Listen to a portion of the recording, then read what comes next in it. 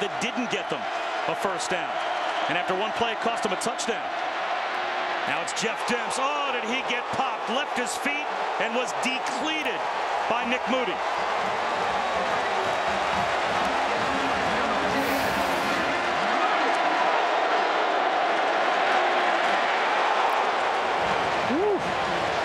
They are going to be hitting down there in a rivalry game. There was no question about that coming into this game, and you get a little bit of momentum on defense.